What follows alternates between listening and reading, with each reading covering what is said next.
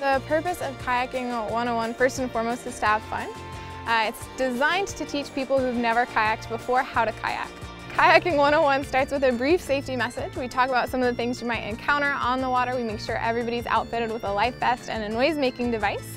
Um, and then we carry our boats down to the water. We give a brief introduction on how to kayak, especially for those who haven't been before. We make sure everybody gets on the water okay, and then we paddle down about 30 minutes or so, where we'll stop, talk about any wildlife or nature that we may have seen on our tour, and then head back. Part of what makes this program special is that it's designed to beginners. Not the first time I've been car crashed, bumper boated.